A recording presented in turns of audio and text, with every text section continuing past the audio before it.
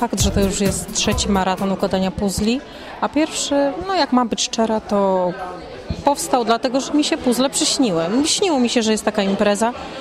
No, przyznam szczerze, że w snach ona była troszkę bardziej rozbudowana. Ich tych e, drużyn było bardzo, bardzo wiele. Aczkolwiek spodobało mi się to i postanowiłam zrealizować.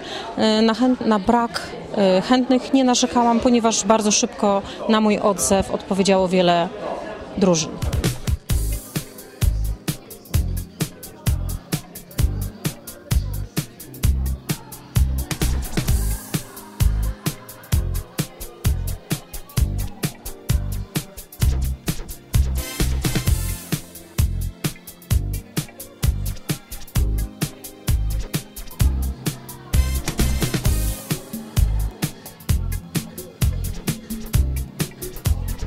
Czujemy się zadowoleni i usatysfakcjonowani akurat.